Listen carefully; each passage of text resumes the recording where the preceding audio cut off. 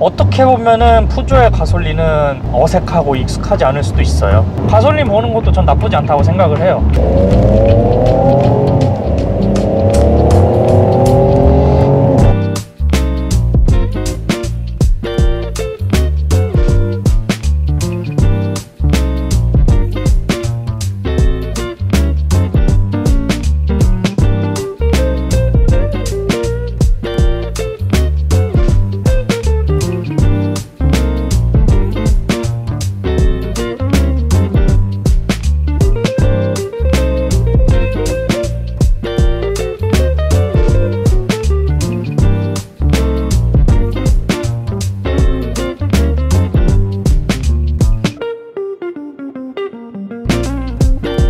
여러분들 안녕하십니까? 햄맷입니다.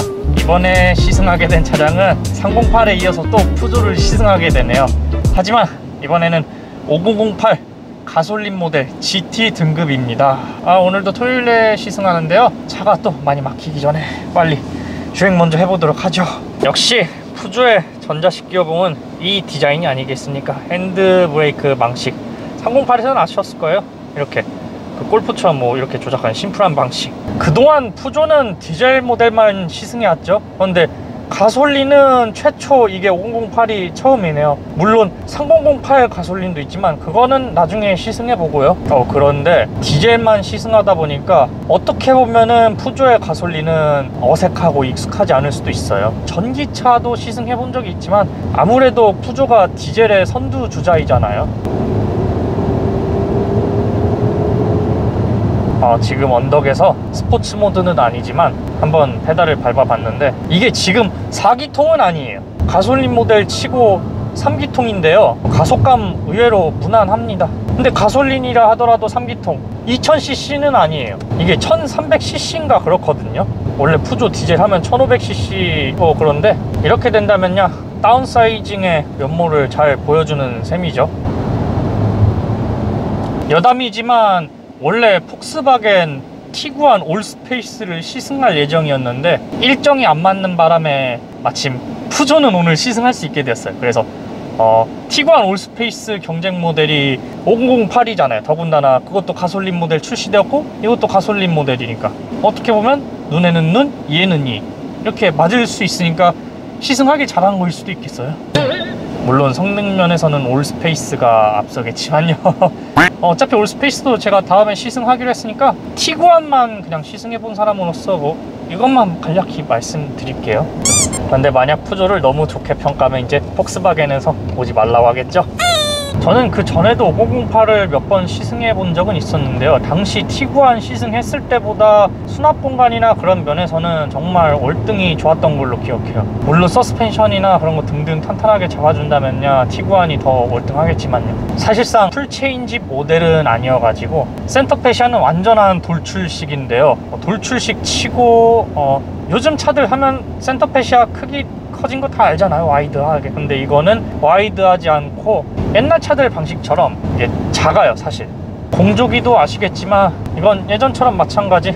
여기서 다 조작을 하는 거랍니다. 차량 설정 등등 이런 것도 다 마찬가지인데요. 제가 308에서는 피아노 건반식 이 버튼들 없어진 게 아쉽다고 했는데 아직 5008에서는 이 건반식이 그대로 예, 남아있는 거 보실 수 있습니다 제가 원래 처음으로 푸조를 알게 된 계기가 5008 시승을 계기로 이렇게 들여다보게 되었거든요. 마찬가지로 육각형 핸들 처음 봤을 때 당시 이게 너무나도 저에겐 신기하게 다가왔었어요. 전에도 말씀드렸지만 동그라미 핸들이나 D컷만 바라봐왔던 저로서는 이게 은근히 재밌죠 육각형 모양이. 뭐 마침 고속도 들어섰으니까 금방 들어서네요 의외로. 스포츠 모드 어이.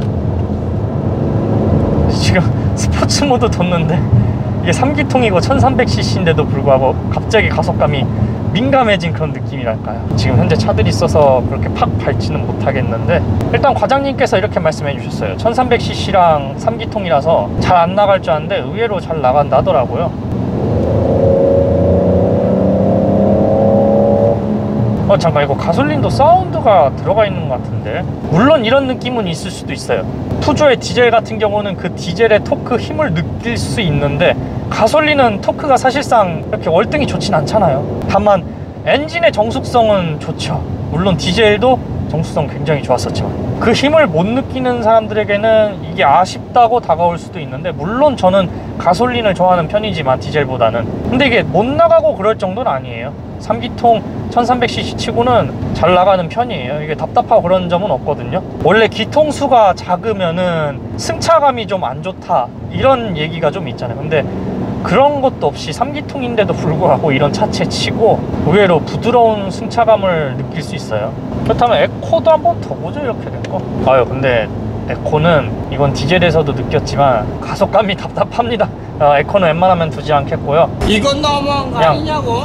어, 여러분들 이거 성향 차이인데 그냥 표준 이런 모드가 나을 수도 있어요. 표준에서도 가속감이 이 정도 무난하다면요? 어, 엄청 좋네요. 계기판은 이거 이제 308본 이후로는 좀 뭔가 구형 느낌이 나 보이죠. 디지털 계기판이긴 한데 그래도 여기 정말 잘 나오거든요. 물론 이게 head-up display가 있는 건 아니지만 육각형 모양 덕분에 그러니까 이렇게 돼 있잖아요 여기. 마이너스 자로 계기판 굉장히 잘 보이죠? 이건 head-up display가 없어도 될 정도 어차피 구조상 안 되겠지만 계기판 시인성 하나는 정말 좋습니다. 여기 도어 쪽에 이 부분은 뭐 우레탄인 건 알고 있는데 여긴 플라스틱이고 여기 이거 야 좀 알칸타라 비슷한 느낌인데 이게 패브릭이에요 사실상. 알칸타라는 아니고요. 근데 좀 밝은색 계열로 되어 있고요. 이때 당시는 연두색 스티치를 쓰지 않았었나 봐요. GT 등급인데 갈색 스티치가 들어가 있고요. 여기 대시보드 쪽에도 그렇고 위에는 똑같이 검은색 이거 안트라사이트 비슷한 이 소재는 여전히 쓰고 있네요. 지금 이렇게 살짝 어두운 곳을 달리면은 이쪽에 무드등 파란색 무드등이 들어온 거 보실 수 있습니다.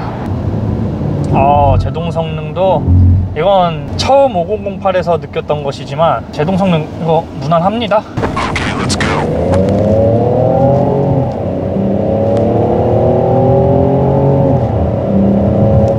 근데 진짜 사운드가 들어가 있는 것 같은데요. 원래 이런 소리가 안 나거든요 가속할 때어 근데 야 1300cc 가솔린 치고는 잘 나간다 이 정도로. 어허 저는 생각해보면은 이제 가솔린에 목말랐던 분들도 계시잖아요 푸조에 대해서.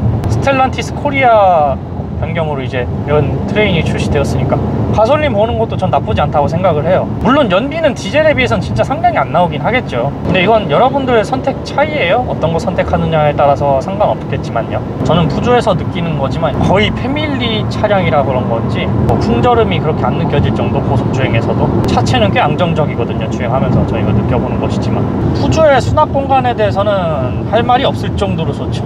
왼쪽 도어 밑에도 상당히 좋을 뿐더러 이 무선 충전대 구간도 꽤 진짜 wide 넓어요 여기가. 여기는 이제 키 같은 거 둬도 되고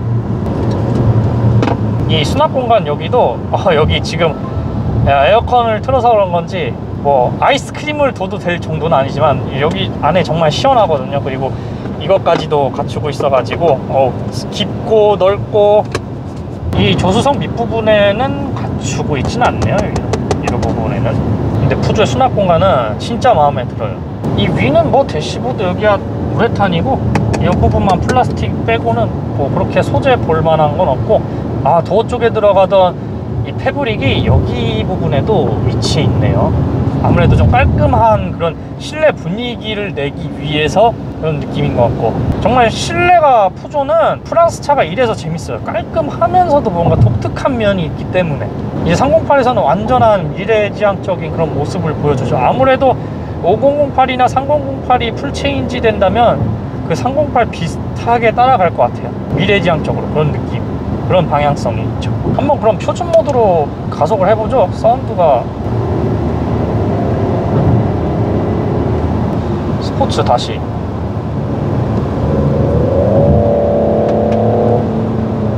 사운드가 들어간 것 같긴 한데 이게 후추 뿌린 듯이 있잖아요. 308처럼. 그렇게 들어간 것 같아요. 제가 봤을 때는요 야 가속감이 이게 뭐 스포츠카 같은 그런 BMW 전적인 느낌은 아니지만 가속에서도 정말 시원하고 답답함 없고 무난하고 뭐가 필요하겠어요? 5008의 특장점이 또 있죠. 바로 side mirror 크기가 굉장히 커요. 그렇기 때문에 고속도로 주행이나 뭐 등등 그럴 때 이런 사각지대 경고장치도 잘 들어가 있기 때문에 지금 주행하면서 mirror를 자꾸 봐도 피로감이 정말 없을 정도거든요. 더군다나 5008이 차체가 꽤 높아요. 이게 평소 SUV랑 똑같은데 높게 보여서인지 운전할 때 시야감도 넓을 정도? 전형적인 family SUV죠 얘는. 아 그렇다면 진짜 티구안 올스페이스 시승기도 정말 기대가 되는데요 그것도? 야 그거 진짜 저는 맞붙는 거 된다고 생각해요. 푸조 5008 가솔린 모델. 여기서 차가 밀리니까 반자율주행 이제 써보도록 할게요. 아 근데 반자율주행 아시겠지만 이거는 steering에 있는 게 아니라 옆 밑에 레버 방식으로 있기 때문에 좀 조작하기가 좀 불편할 수도 있어요. 저 같은 사람에겐.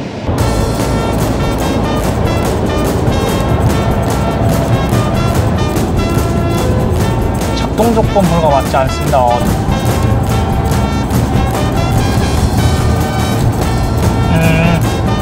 아 이게 아니죠 그러니까. 제가 말씀드렸다시피 밑에 있는 건 레버 조작이 좀 힘들다 했잖아요. 이 안쪽에 버튼이 있어요. 속도 증가.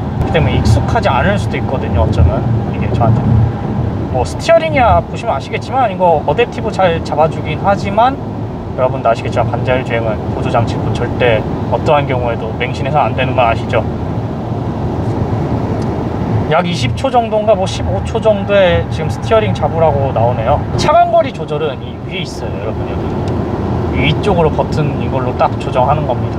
이것도 뭐 adaptive cruise control 갖추고 있다면요. 반자율 성능이 좋아가지고 장거리 운전할 때도 아 마침 장거리 운전에 대해서. 이거 시트가 fabric이 들어간 그런 시트는 아니거든요. GT 등급이어도. 그런데도 불구하고 지금 어, 야 시트 편안해가지고 휴게소를 그렇게 잘 안 들러도 정도로 엄청나게 편안합니다. 푸조가 이런 점은 진짜 마음에 들죠. 거기에 지금 SUV 시장이 대세인데 family 전형적인 얌전한 운전은 역시 푸조입니다. 근데 이게 독일 차들처럼 뭐 스포츠성이 있고 티구안은 그래도 오리지널틱 하면서 그 스포츠성 유지하고 있거든요. 근데 푸조는 그 정반대입니다. 진짜 얌전하고 순한 양입니다 자체가. 아까 스포츠 모드에도 사운드가 살짝 들어가 있지만 그래도 스포츠 모드 같지 않다라는 느낌. 그냥 젊은 느낌에 그냥 잠깐 밟고 싶다. 얌전하게. 그런 그냥 재미로 넣는 그냥 요소랄까요? 야 근데 희한하게 스포츠 모드 바로 두면은 가속감 이게 민감해질 정도로 그거는 참 놀랍네요. 이렇게 얌전한 푸조인데도 불구하고. 자 코너를 돌아볼 수 있을지 의문이네요. 차가 앞에 좀 있어가지고 좀 어차피 뒤에 차도 안 오니까 좀 보내주고 해봅시다. 어, 좀 이게 차가 생긴 게좀잘 잡아주려나?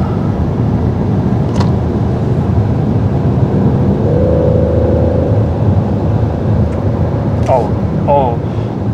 예 근데 시트가 사실상 308처럼 살짝 버킷이 나와 있는 형상은 아니어가지고 지금 돌아보면서 느낀 것이지만 어, 몸은 좀 어느 정도 쏠려 나갈 것 같은 느낌이거든요 이게 지금. 어, 차는 그래도 잘 잡아줘요. 이것도 오디오는 포칼 오디오가 들어가진 않네요. 예전에는 포칼이 들어갔던 걸로 기억하는데 코로나 이전에는 아닌가? 어, 오래돼서 기억을 안 나지만 아무래도 요즘 반도체 수급 영향 그런 게 아직도 남아있잖아요. 그런 문제가 있다 보니까 그냥 일반 오디오 넣는 수밖에 없겠죠.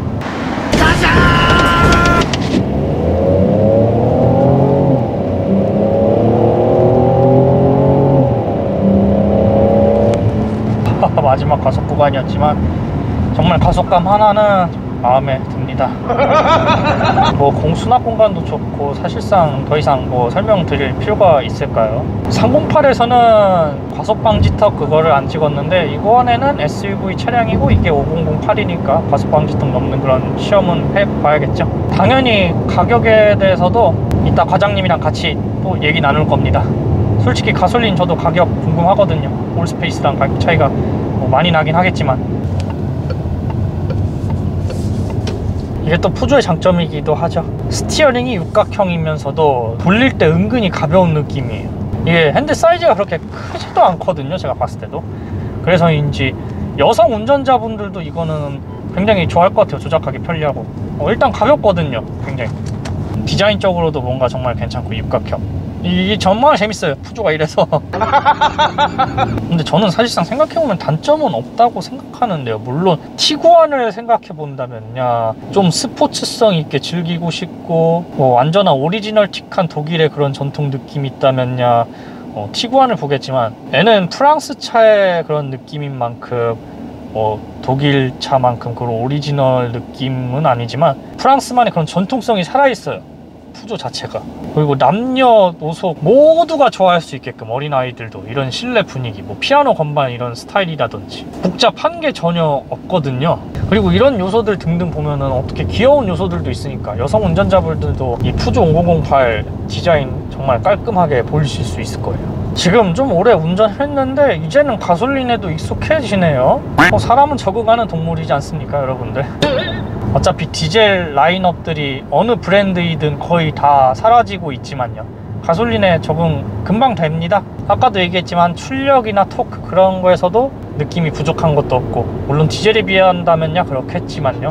푸조 전기차에도 적응됐듯이 가솔린도 이젠 적응됐다고 봐요. 쿵 소리는 나지만 운전자인 입장에서는 지금 아무렇지 않았어요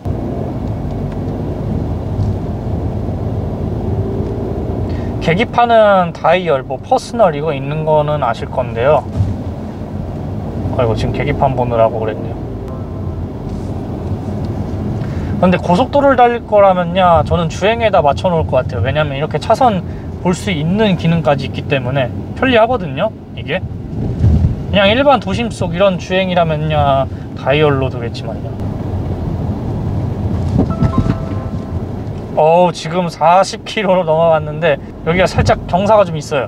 근데도 저는 어 괜찮네요 이 정도면은. 어, 가속 방지턱 이 정도면 뭐 넘는 거 좋다면야 승차감 뭐 할 말 없지 않습니까 여러분들?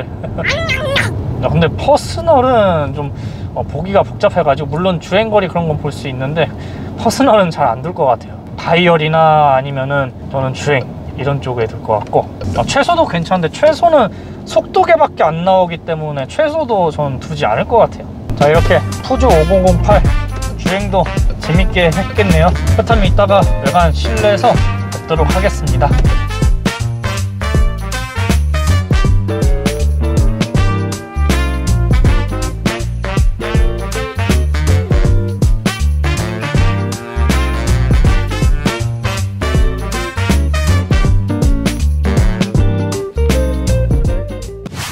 (508) 앞모습을 바라보면요. 예전 부분 변경 전보다 역시 부분 변경 된 이후가 낫긴 나아요. 뭐 가까이 가서 볼게요. 물론 이것도 마찬가지로 차량 이름이 여기에 적혀 있고 로고는 아직 페이스리프트 모델이니까요. 이게 완전 full change는 아니잖아요. 그래서 그때의 과거 이젠 구형이죠. 그 구형 로고를 쓰고 있고요. 이건 마찬가지로 다이아글 형태가 좀 이렇게 와, 와서 이렇게 로고로 가까이 갈수록 작아지는 듯한 그런 형상화가 정말 잘 조화가 맞고요. 멀리서 보면은 아름답게 보일 거예요. 멋있는 느낌보다는. 아 그리고 이 라이트 부분도 진짜 대단한 게 뭐냐면 이 부분 특히 이거는 뭐 아실 거예요. 맹수의 이빨이라고 부르죠. daylight. 이뿐만 아니라 여기 부분은 마치 사자의 눈썹을 보는 것 같은 느낌이랄까요? 좀 맹수 느낌이 나는데 왜냐면 여기 라이트 자체도 보면 이거 뾰족하니 날카로운 느낌이 정말 강한 포인트거든요. 야 이거 전체적으로 바라본다면 진짜 사자의 눈, 이빨, 눈썹까지 등등 뭐 다. 야 완전 젊은데요 이 느낌은?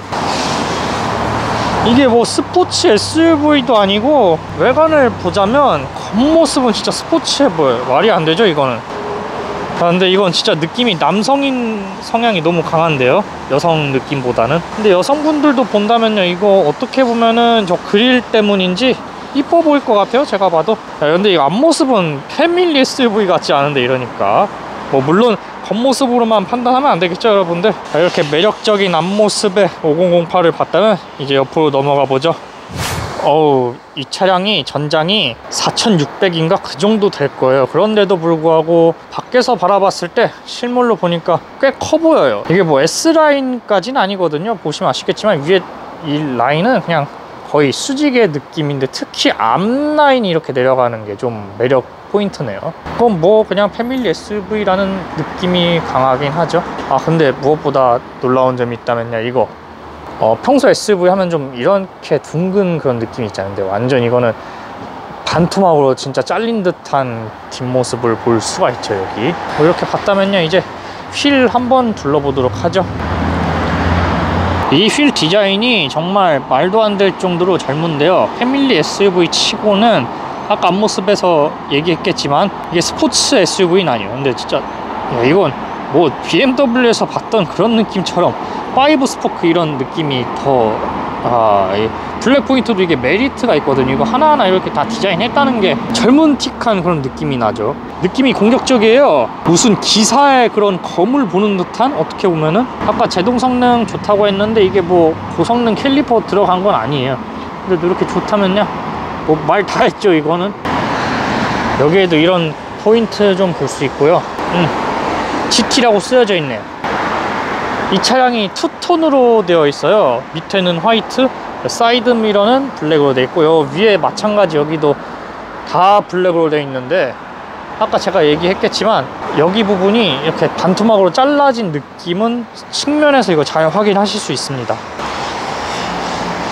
옆모습은 그렇게 뭐 딱히 말할 게 없죠. 전형적인 패밀리 SUV 휠만 놓고 보자면 야 좀 스포츠해 보이는데 어 뭐 그냥 얌전해요? 옆모습 그냥 무난한 느낌? 그럼 이제 뒤로 넘어가 보도록 하죠. 뒤에서는 확실히 옆에서 보는 것보다 진짜 잘린 그런 느낌이 이렇게 딱 진짜 확연하게 보인다. 뭐 이렇게 굴곡져 있지 않고 그런 느낌인데요. 푸주의 또 마음에 드는 점은 이거죠. 바로 이 테일 램프. 램프가 안 들어왔지만 들어오면 이것도 아름답게 표현이 되거든요. 뭐 그렇다고 이어진 테일 램프 그런 건 아니지만 뒤쪽은 그냥 어 뭐라고 할까. 그냥 수직인 만큼 별 제가 설명할 거는 딱히 없는데요 이 정도면. 머플러 이게 커서 진짜인 것 같아 보이는데 이거 페이크입니다 여러분들 어, 여기에 GT 딱 붙어져 있는 거 말고는 설명 드릴 게 없으니까요. 바로 트렁크를 보는 게 좋을 것 같아요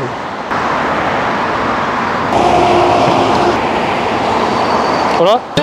전에 아시겠지만 이건 기억이 나거든요. 원래는 5008에 전동식이 들어갔는데 반도체 영향 때문인지 이번에는 수동이 들어가네요. 이게 GT 등급인데도 불구하고. 뭐 어쨌든 공간 살펴보죠 지금 3열 시트는 안 펼쳤을 때인데 아시겠지만 이렇게 넓어요. 근데 만약에 3열을 펼친다면요 공간이 진짜 안 나오겠죠. 3열 펼치는 방법이 간단해요. 이게 보시면은 뭐 이렇게 해서 펼칠 수 있는데 어 제가 봐서는 이번엔 3열까지 앉진 않도록 하겠습니다. 그게 나을 것 같고 이렇게 한다. 뭐 그런 다음에 빨간 레버가 있어요. 아 이건 거지 빨간 레버가 이제 접을 때고. 아 갑자기 기억난다. 이게 펼칠 때고. 아 근데 이게 3열 쪽이 좀 타기가 불편해 가지고 뭐 공간 저렇게 된다면야 제 키 앉아도 어, 밑에 서하기까지 있네. 어 죄송하지만 3열은 앉지 않도록 하겠는데 2열보다 시트가 굉장히 작아 가지고 이쪽은 이제 어린아이 앉을 때 좋을 것 같은데 제가 봤을 때는요. 접을 때야 다시 이거 빨간 거 그냥 당기면 접힙니다. 하고서 다시 아휴 접는 게 왜 이렇게 어렵냐. 안전벨트 막 부딪히고 난리 났네. 진짜 근데 공간 하나 넓다 야어 근데 전동식이 아니어가지고 이게. 아유 무거워. 수동으로 닫아야 된다는 단점이 있네요 아 확실히. 야 공간 좋습니다. 네. 아 이거 그거네요. 아 이거 있네요. 물론 이제는 없어지는 추세죠. 티구안에서도 이젠 없잖아요. 부분 변경되면서. 왜냐면 이거 안전성 문제 그 이유로 말이죠. 여기 이제 뭐 간이 식탁이라 해가지고 그냥 음료수 넣고 뭐 샌드위치라든지 뭐 빵 등등 간단한 식사거리 해결하긴 좋겠네요. 이제 평소에는 안 사용할 때 접어두는 게 그냥 나아요. 어, 무릎 공간이야. 뭐 이 정도면 한 주먹 3개 정도는 들어갈 것 같은데 제가 봐도. 와 여기에는 바람 세기 조절까지 있고 뭐 물론 온도 조작 그런 건 없는데 선풍구까지 있고 밑에는 A 포트 두 개가 보입니다. 여기 이제 유선 충전 할 수 있죠 여기서. 12V 이것도 있고. 굳이 제가 공간을 설명 안 해도 되겠죠 여러분들? 이거 뭐네이 정도. 뭐 이게 S라인처럼 내려오진 않으니까 덕분에 이렇게 되는데요. 아 근데 3열 쪽은 이, 이렇게 지금 이렇게 가니까 괜찮을 것 같네요 시트 디자인은 뭐 젊은 차량이라 해도 어, 중년층들이 봐도 무난할 정도의 그런 디자인의 모습인데요. 아까 제가 얘기했지만 이게 GT 등급은 요즘은 연두색이 들어가잖아요. 하지만 이때 당시여서 그런 건지 이게 갈색 스티치가 보이고 나파 가죽인지 모르겠는데 아까 부드럽거든요. 이게 뭐 너무 딱딱하지도 않고 이 부분 역시도 여기 알고 보면 패브릭은 아니에요. 이게 뭐라고 해야 되지? 좀 베개 그 가까운 소재 비슷한 느낌이랄까요?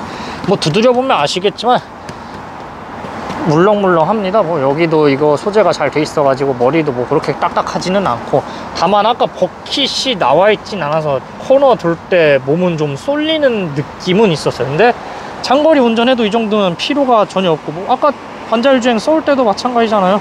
시트와 그 조화 정말 저는 맞다고 생각합니다. 푸조 역시 family SUV니까 시트 하나 정말 최고라고 생각합니다. 308에서는 후방 카메라 화질 정말 좋다고 했죠. 물론 그 차량은 완전한 full change 차량이니까. 하지만 이거는 508 페이스리프트 뭐 전 모델이라 해도 후방 카메라 화질은 그렇게 썩 좋은 편은 아니에요. 화면 크기도 사실상 작기 때문에 뭐 around view가 여기 뒤까지만 나오고 양쪽 나오진 않네요. 아 그리고 308에서 제가 이거 설명했죠. 이거 전 이 기능 있는 거 정말 좋아하거든요. 아이고 실수. rear zoom view 하면은 이렇게 가까이에서도 이렇게 볼 수 있으니까. auto는 말 그대로 차량이 가까워지면은 갑자기 rear view zoom으로 이거 바뀌죠. 자 이렇게 푸조 5008 GT 등급 시승을 마치겠고요. 뭐 외관까지 다 찍었겠다. 야 오랜만에 타보는 5008이라서 저는 은근히 참 좋았어요. 푸조에 처음 알게 된 모델이기도 하고 푸조 브랜드 자체가 그렇고 완전 패밀리 SUV 하면 진짜 508은 좋다고 생각해요. 물론 다음에 이제 경쟁 모델인 올스페이스도 시승해 볼 것이지만 어, 이렇게 되면 또 푸조 제가 그 좀 그렇게 될지 모르겠지만 폭스바겐에서도 그렇고. 아무튼 전508 진짜 재밌게 시승했어요. 물론 이 차량이 가솔린이어도 이제는 어 익숙해졌어요. 원래 푸조하면 디젤의 선두주자라고 그러는데 적응됐습니다 가솔린도. 네, 최고예요. 뭐 이렇게 말할 수가 있죠. 영상은 여기까지 마치겠고요. 이렇게 10월달도 금방 가는 것 같네요. 여러분들도 좋은 하루 보내시길 바랍니다. 이상 팬매시였습니다